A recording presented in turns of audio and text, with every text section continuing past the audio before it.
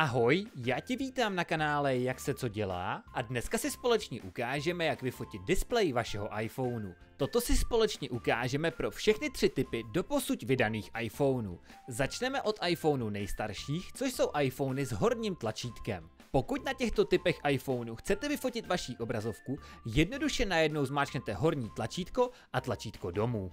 Tímto se vyfotí vaše obrazovka a fotku následně najdete ve své galerii. U novějšího typu iPhoneu, který už má postranní tlačítko, ale stále se na něm nachází tlačítko domů, zmáčkneme najednou právě tyto dvě tlačítka.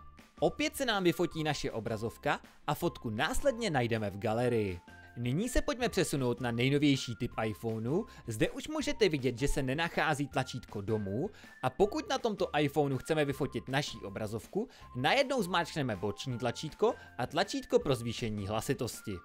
Opět se nám vyfotí fotka našeho displeje a fotku následně najdeme v naší galerii.